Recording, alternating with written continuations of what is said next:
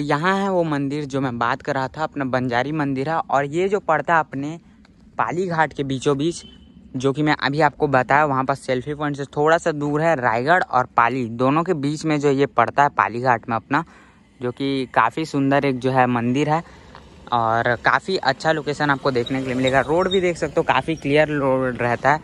बाकी थोड़ा संभाल के रहना चाहिए, क्योंकि मोड़ जो इसमें बहुत ज़्यादा रहते हैं और ये अपना बंजारी मंदिर जो हमेशा तो खुला नहीं रहता, बाकी आपको खुला देखने के लिए मिल जाएगा। फ़िलहाल अभी खुला नहीं है, वरना खुला रहता है। तो चलो, यहाँ का भी एक जो प्यारा सा ड्रोन शॉट निकालते हैं।